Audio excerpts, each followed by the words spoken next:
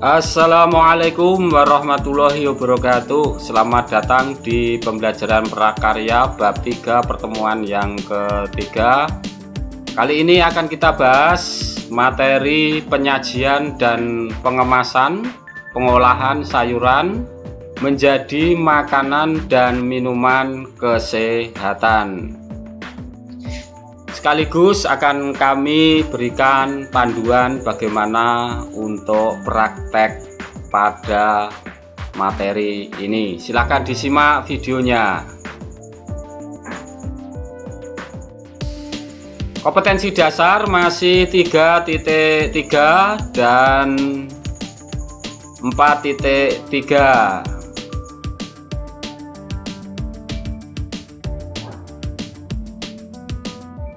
Tujuan pembelajaran setelah pembelajaran diharapkan peserta didik dapat satu menjelaskan tahapan pengolahan makanan dan minuman kesehatan dari sayuran secara mandiri. Tujuan kedua menjelaskan langkah pengolahan makanan dan minuman kesehatan dari sayuran secara percaya diri. Yang ketiga menganalisis bahan, alat, teknik, langkah yang digunakan dalam mengolah makanan dan minuman kesehatan dari sayuran secara rasa ingin tahu. Yang keempat, menyiapkan bahan dalam mengolah makanan dan minuman kesehatan dari sayuran secara cermat dan teliti. Yang kelima, menyiapkan alat dalam mengolah makanan dan minuman kesehatan dari bahan sayuran secara cermat dan teliti.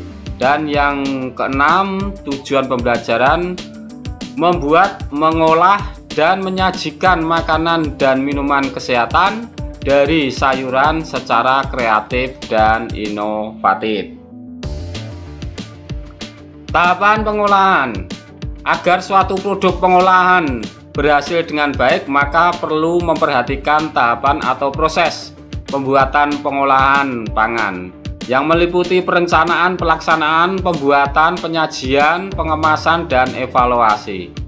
Hal ini agar menghasilkan karya pengolahan yang sesuai kegunaan, nyaman dalam rasa, tepat dalam pengolahan, memiliki nilai estetis dalam penyajian maupun kemasan, dan aman bagi kehidupan manusia.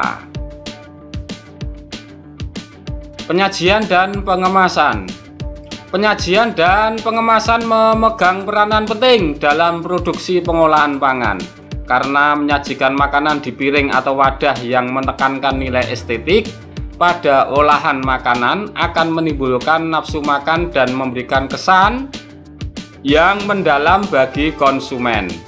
Pengemasan adalah cara untuk menyuguhkan makanan kepada orang untuk diperjualbelikan yang telah ditata berdasarkan komposisi warna, tekstur atau bentuk, rasa, aroma, dan alat kemasan sajian makanan. Makanan tradisional tertentu disajikan atau dikemas dengan menggunakan bahan kemasan yang terbuat dari tanah liat, buluh bambu, maupun daun-daunan. Misalkan gudeg dikemas dengan kendil yang terbuat dari tanah liat. Minuman legen menggunakan legen sebagai kemasan. Ketupat dikemas daun kelapa. Kue-kue tradisional dikemas dengan daun pisang maupun daun jagung. Nasi bungkus dikemas dengan daun pisang dan lain-lain.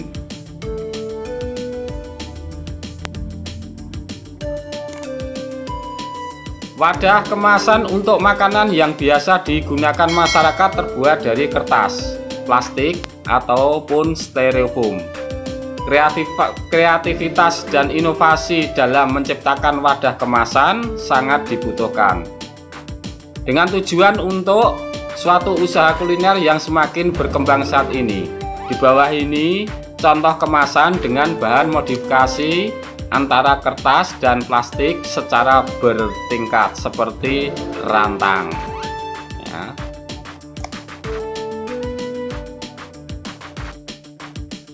Dalam pengemasan dan penyajian akhir suatu barang harus memenuhi fungsi sebagai berikut. 1 mempertahankan produk agar tetap bersih dan memberikan perlindungan terhadap kotoran dan pencemaran lainnya. 2. Memberikan perlindungan terhadap air, oksigen, sinar, dan kerusakan fisik. Yang ketiga, berfungsi secara benar, efisien, dan ekonomis dalam proses pengepakan, yaitu selama pemasukan produk pangan ke dalam kemasan. Yang keempat, mudah dibentuk menurut rancangan, dibuka dan ditutup kembali, serta mudah dalam penanganan dan pengangkutan. Yang kelima yaitu fungsi memberikan pengenalan, keterangan, dan daya tarik penjualan.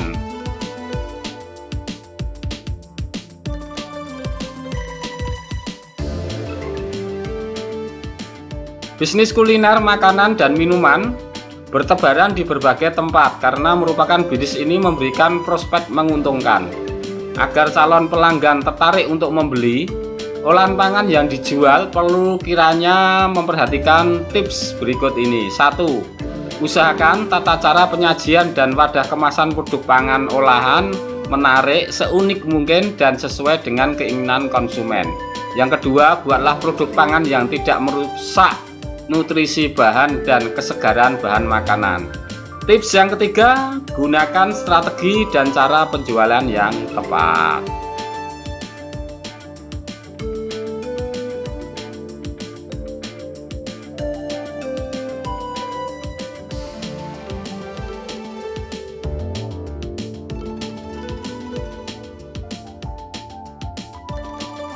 Pembuatan makanan dan minuman kesehatan dari bahan pangan sayuran. Satu, Buatlah sebuah makanan dan minuman dari bahan sayuran hasil kreasimu atau produk pengolahan pangan khas daerahmu. Dua, Tuliskan semua tahapan pembuatan makanan dan minuman dari bahan sayuran kreasimu secara lengkap dan menarik. Misalnya, bahan dan alat yang digunakan, proses pembuatannya, kemasan ataupun penyajiannya. Yang ketiga, perhatikan tahapan pembuatan produk dalam bekerja, keselamatan kerja, kebersihan, dan bekerja samalah eh, karena ini praktek mandiri, maka kalian bisa konsultasikan kerjasama dengan orang tuamu.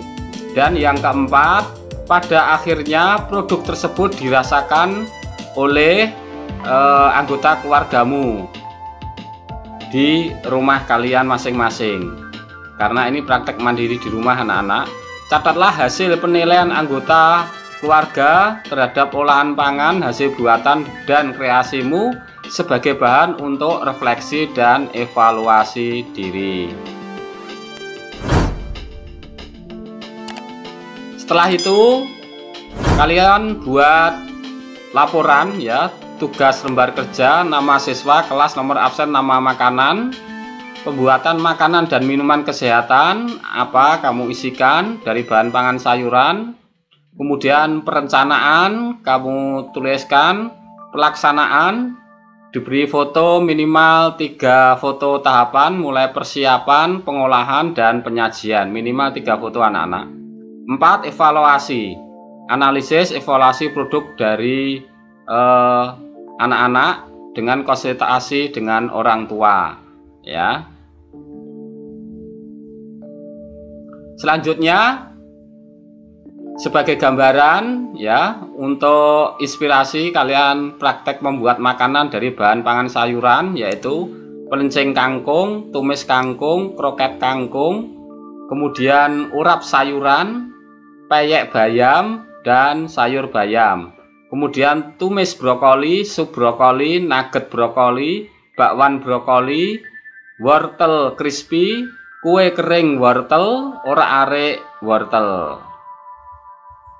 Selanjutnya, contoh minuman kesehatan dari bahan pangan sayuran, ya, es timun serut, jus wortel tomat, kemudian jus bayam wortel, jus menimpun, jus mentimun mix bengkoang, kemudian wortel ditambahkan pir dan jeruk kemudian bayam, stroberi, kangkung jadikan satu di mixer jus sayur brokoli campur buah jadi kalian bisa memilih minuman kesehatan ini cukup hanya satu jenis sayuran atau kedua jenis bahan sayuran dicampur jadi satu atau dari beberapa bahan sayuran ditambahkan dari bahan buah segar. Demikian saya sampaikan. silahkan dikerjakan praktek secara mandiri dengan konsultasi dengan orang tua. Mudah-mudahan ini sebagai inspirasi untuk berkreasi kalian di rumah dan bermanfaat bagi kesehatan tubuh kita. Kurang lebihnya mohon dimaafkan. Cukup sekian.